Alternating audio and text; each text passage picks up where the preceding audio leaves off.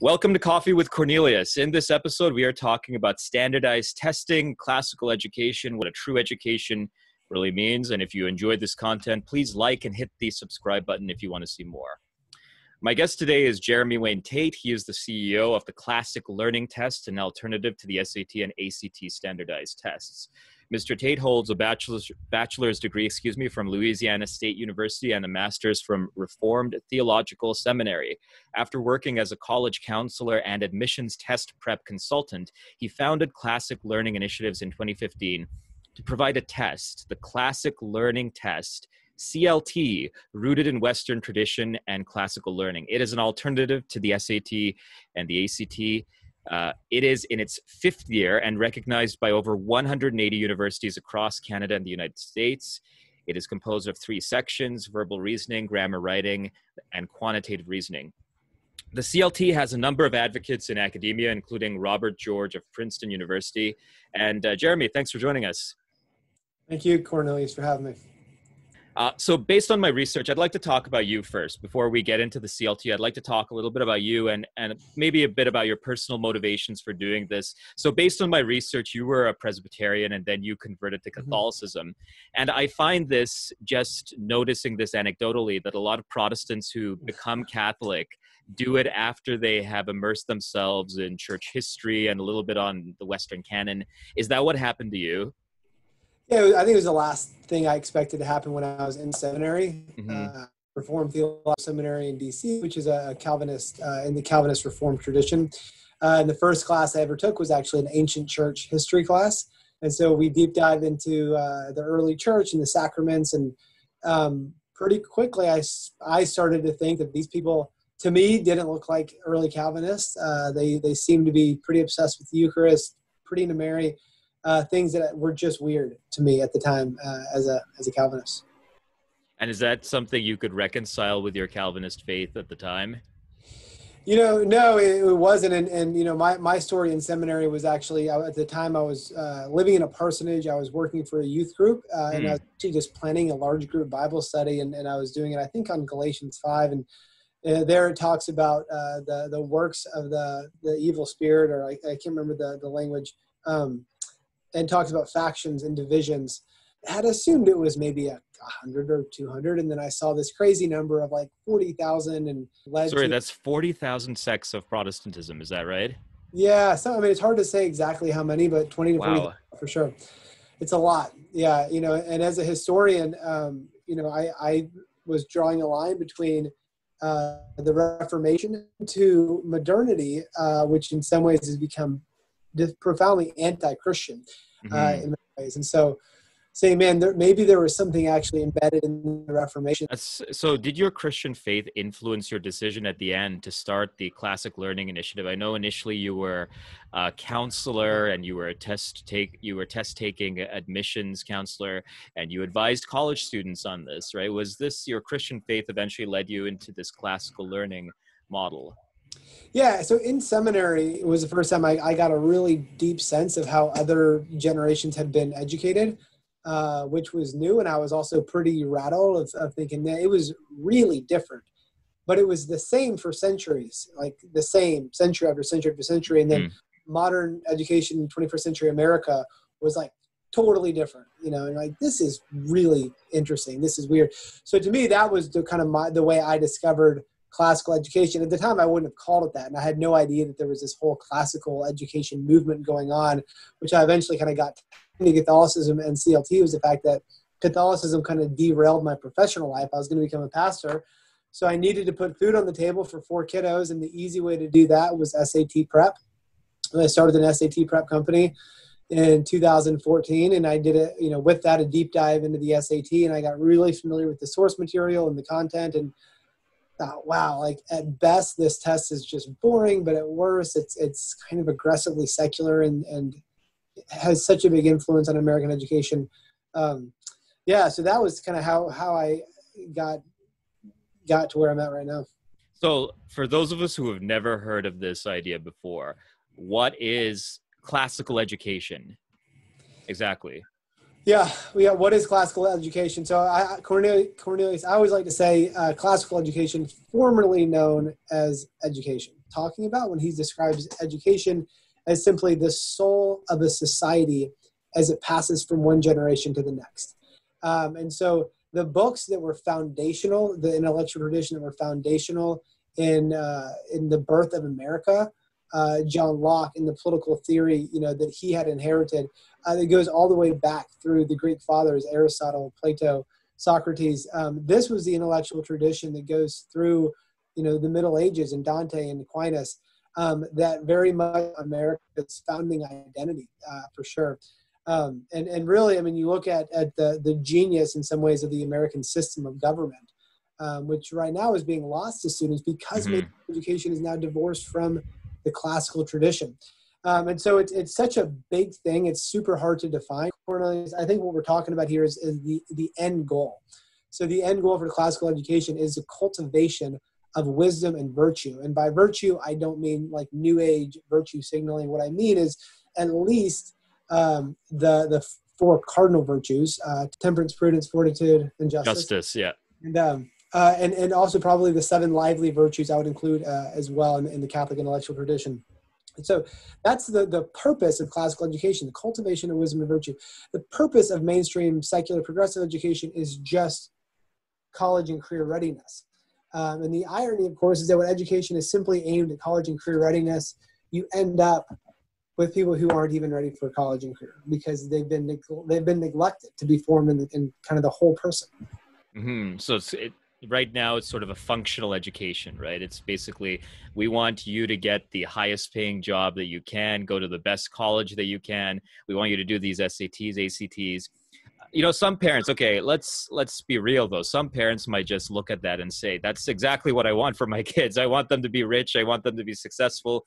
I want them to marry well and I, I want them to get a good job, right? So, um, how does classical education hurt, help me, right? How does it help my kid at, in, at all? Mm-hmm. Yeah, you know, in the yeah.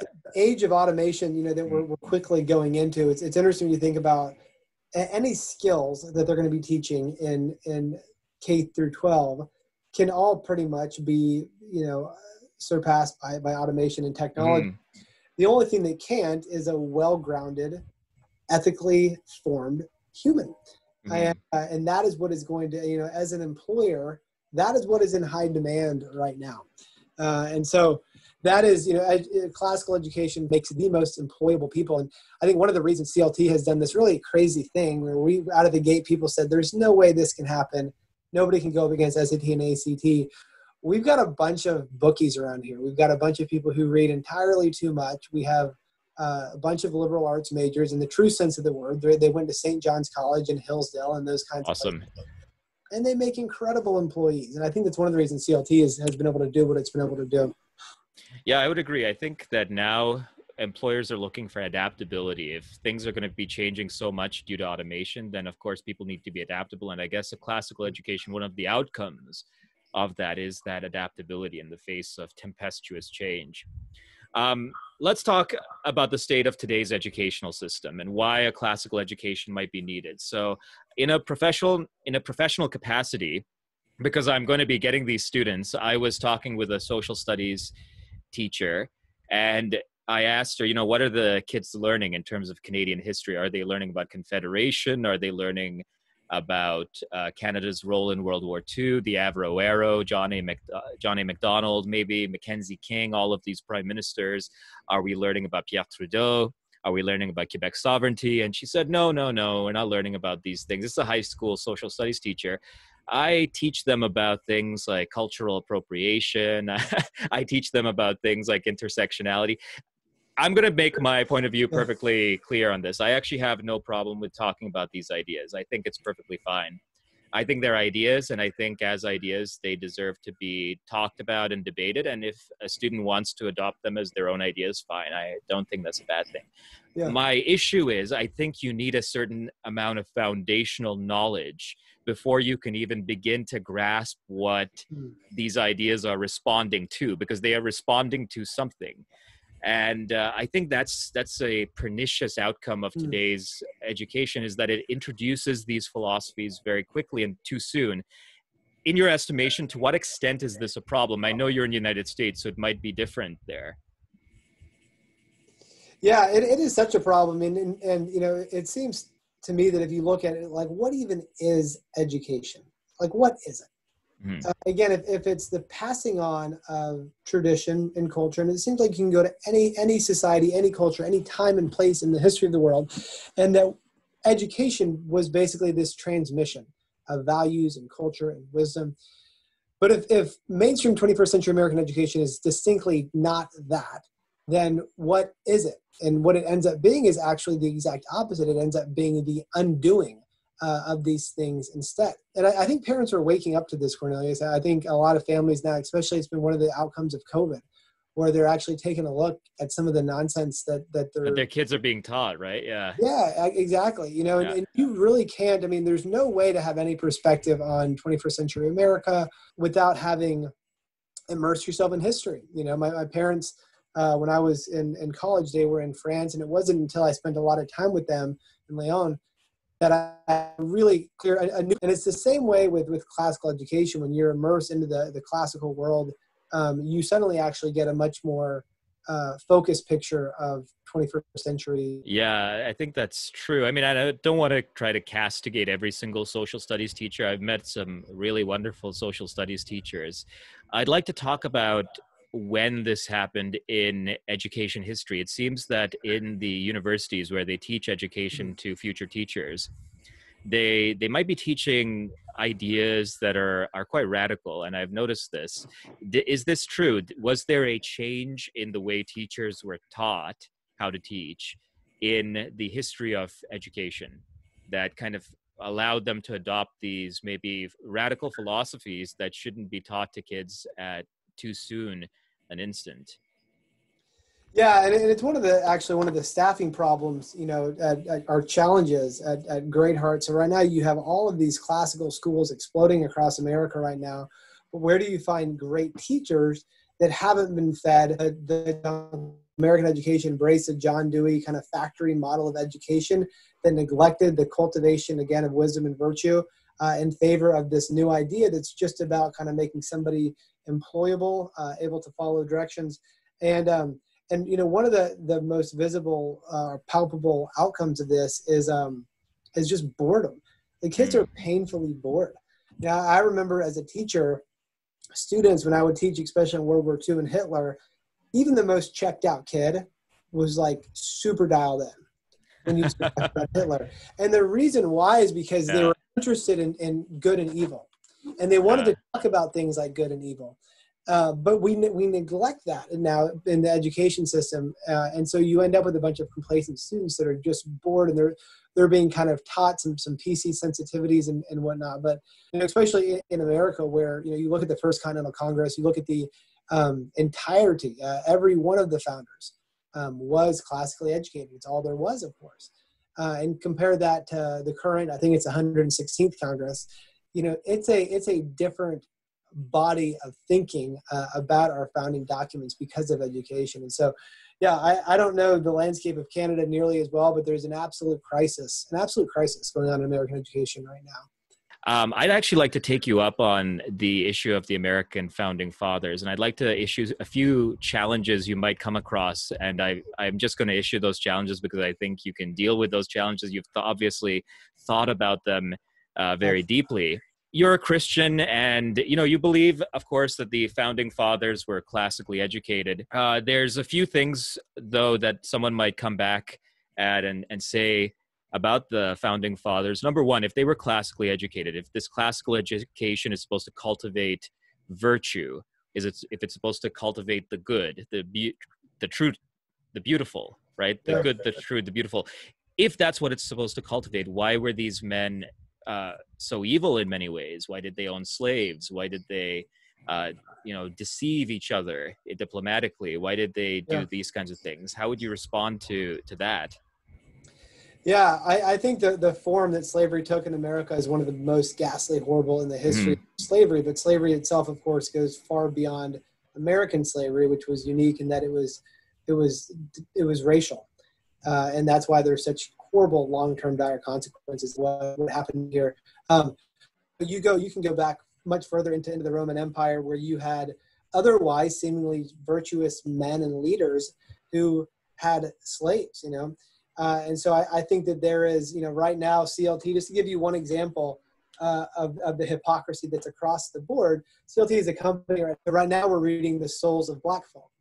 folk. And uh, Du Bois was, um, his view of women is not, is not good. You know, mm. guy who founds the NCAA, NAACP, he's a leader in, in terms of black academia in America. Um, and I have some dear friends, uh, Anika Prather, who's on our board, um, who loves Du Bois. Uh, she's a, a, a, black woman who also recognizes he said pretty bad things about about women, but she doesn't chuck out all of Du Bois because of how he was so wrong on such a big issue. So you have somebody like Thomas Jefferson. You know, the man owned six or seven hundred slaves. Um, he wow. owned slaves that were his family members. He likely probably fathered uh, several children with with Sally Hemings. Um, I think the majority of historians I've talked to are, are, coming to consensus on that that that's very likely. He was 45, she was 15, right? This Thomas Jefferson is a founding father, you know. Yeah. But you also look at T. Thomas Jefferson, uh, who was a Renaissance man second to none. You know, here's a guy who is a, the top of, of architecture and philosophy and rhetoric, and who read in, in multiple languages French and Greek and Latin. Um, and so, a deeply flawed man, a man who himself, you know, was not a Christian and, and probably didn't think a whole lot, therefore, about the concept of sin. I think you eventually get to a point of saying, well, we can chuck everything and start again at kind of year zero and kind of try everything again, or we can we can identify people as respectable and heroes who had um, some really dark sides to them uh, as well you know? And and i think cornelius too of some of the mainstream popular issues today of like take take abortion you know? How many thought leaders are going to be really vocal on on and how many hollywood stars are going to be really vocal in standing up for the right to life uh, for the unborn you know it's not a popular thing to do. Where who knows, maybe in 200 years we'll look back at this time period and be like, man, remember when we did this horrible thing, you know, to the unborn. You know, that's, that's very possible. And so, you know, people are always going to be a product to some degree of their time and place. Uh, and I think that's that's true of the founding fathers as well. I'm just wondering where you would draw the line, though. I know Thomas Jefferson, you mentioned all of these horrible things he's done, and I don't think anybody can disagree with that. But I mean, if you were to take somebody uh, who worked in the administration of the National Socialists or Mussolini's Italy. And this person, you know, the, this the foundation of the Nazis and fascism was based in some sense on on German uh, resurgent literature and this idea of the German people as one-blooded yeah. people, you know, and it kind of goes back to even Indian uh, literature, Shakuntala, and all of these classical Vedas um, you could say that these people were drawing upon a virtuous tradition, but of, of course the outcomes were completely horrendous, right? So I, I mean, I'm not trying to compare Thomas Jefferson to Hitler, obviously, but I'm asking, yeah. I'm asking where you would draw the the line in upholding a historical figure as virtuous or not. Obviously, everybody has done bad things. You know, even Gandhi. Now we're told that Gandhi had uh, horrible, horrible views about black people. He had horrible views about women.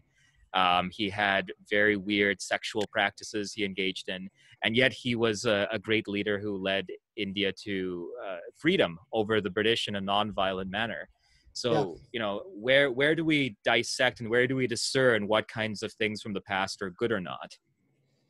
Yeah, yeah, and I, I think this is where Christians have uh, a high calling in the mm-hmm. world, you know, and that instead of primarily identifying evil uh, out there, we start by first identifying it in here and in, in, our own, own, human heart. Hmm. I think that that alone radically changes the conversation, you know. And so, um, and and look, I, I I don't know honestly. Like, should Robert E. Lee come down? Should Jefferson come down? I feel like you know, as a white man in America, uh, I'm doing a lot of, of, listening right now. Honestly, a lot of reading. Um, I don't I don't know where you draw uh, the line or even if it gets to decide which heroes are, are, held up as and who can we really even agree on i mean i'm seeing some of the attacks on lincoln and they're in the the mass uh, uh, volumes of, of things lincoln said he said things at times that could easily be construed in a 21st century context as racist. Yeah. You know, and so we've even seen attacks on Lincoln. And so you're going to end up with, with no one standing uh, at all. And there is no culture, there is no history, there are no heroes, um, which I think is going to be super deadly and super toxic and really the end of a civilization. Or we say, you know what? These were deeply flawed people who also did amazing, great things and I think we see the full range uh, of the human human experience, the human person, you know, within that. So, uh, it's a really thoughtful question though, and it's it's a hard one. Uh, I'd like to just jump around a little bit. You say, you know, the civilization is going to end; it's going to fall. Maybe it is. I think Western civilization might be on its tail end. Uh, but you're a Christian, I'm a Christian, and we both uphold St. Augustine as a saint. In his classic mm-hmm. work, City of God, he comments about Roman civilization crumbling around him as the barbarians are sacking Rome and as they're yeah. invading Roman territory.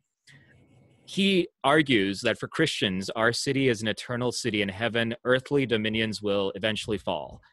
Given Augustine's words, why bother trying to preserve the temporary artifacts of Western civilization? Now, Cornelius, I love that you, you asked that question. I have such sweet memories. My, my first three years out of college were in New York City teaching in New York City public schools, and I would sit on the metro and for six months just read City of God. It's a big old amazing, you know, uh, and it was super formative to me. Yeah. At the time, I think I've quoted Chesterton several times now, but Chesterton says that you know Christianity has died several times, but it has always been reborn because it has a God who knows His way out of the grave, and uh, I think that's where authentic Christianity is always going to be um, a seed of human flourishing uh, and beautiful culture. Uh, and so I think you know right now, it's, and it's a, a, lot that I'm reading and trying to understand, and so many questions I have right now for uh, all the various kind of roots of decay. I think the decline of education, traditional education, has been certainly probably the main one, the way that I view mm-hmm. it. Um, but yeah, uh, and I may be getting getting off from your initial question, so may ask you to actually repeat that if you can. Yeah. So why bother trying to preserve Western civilization if it's going to crumble anyway? If our ultimate aim is the city of God and not the city of men, which is you know founded on temporal standards yep. as opposed to eternal standards.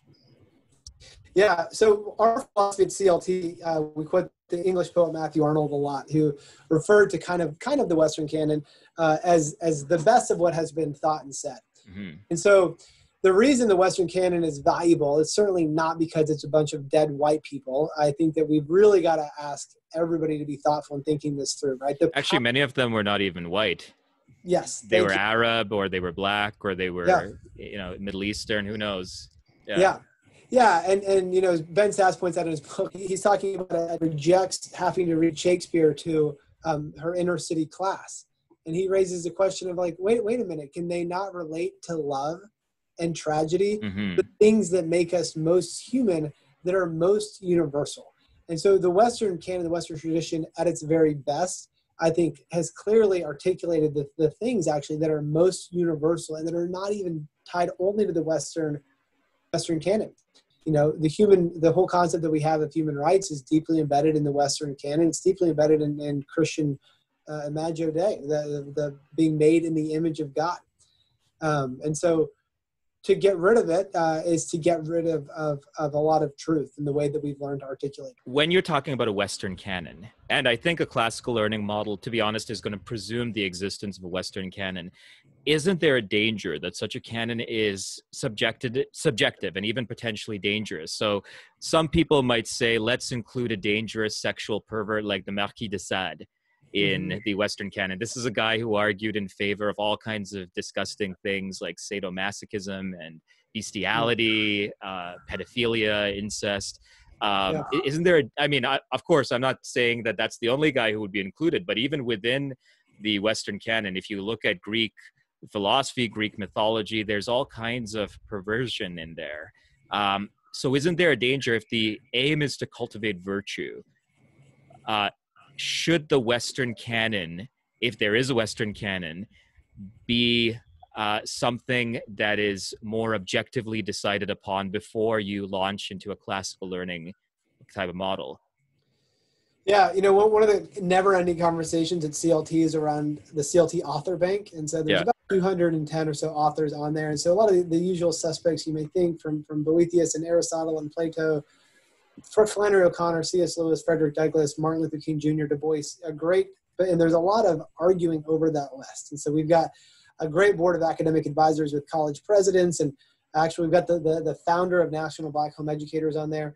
Uh, and there's a lot of really healthy debate that we let go on and on and on about what is this list? What is the Western canon? So I think there are some things where they're so central, they're so foundational. Uh, Augustine and City of God is a great example of that. Yeah. Now that we're, we're, we're committing in some way civil and the Bible.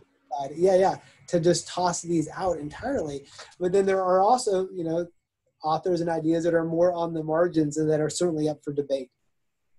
So I'd like to take you up on that a little bit because the Western canon, uh, to be fair, seems to be biased towards uh, Greece. It seems to be biased towards Western Europe. Uh, there's a there are a few Russians on there. You might have Dostoevsky. Throw in Pasternak and a few other Russians. Throw in a few um, uh, splattering of, of African Americans and and Asians too. Um, but for example, the Indian Vedas and the Indian Vedic tradition rivals Greek philosophy, and actually their mathematics superseded Greek philosophy and mathematics, and yet it wouldn't be emphasized in a classical learning model. So, is it fair to privilege Western sources to the exclusion of beautiful and intelligent and even virtuous works from the Near and Far East? Yeah, and so we, we want to, and that's where I think when you look at the CLT author bank, it's not, uh, if you look at it quickly, somebody might say, oh, the Western canon. You look at it a little more closely, it's actually not in any way tied to the Western canon. The philosophy is to reconnect knowledge and virtue.